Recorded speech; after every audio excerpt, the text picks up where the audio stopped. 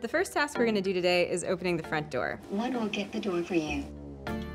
Toyota is a car company, but we also focus on research and development. I pushed it. Can we help people be more mobile? The robot sees its world through the myriad of sensors that it has on it. I got it. I am looking for Romy.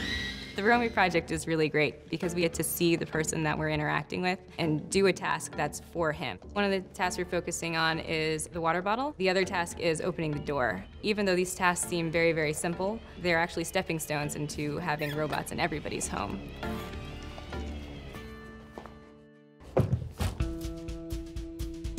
Today is a big day. We are super excited. I have that never quit attitude. My dad told me if I quit once, I'd make it a habit, so I've never quit.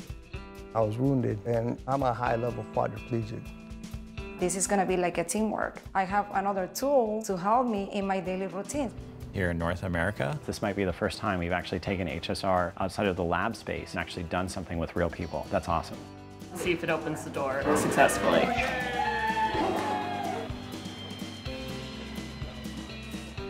Those are the most important tasks that I do throughout the day, and the robot will do it for me. Paralysis affects the entire family. So if you can bring a tool that is gonna improve quality of life for the entire family, it's priceless. This is, you know, a big game changer for everybody. I want to make sure that Andres knows that you don't have to quit anything. That you can just keep going no matter what.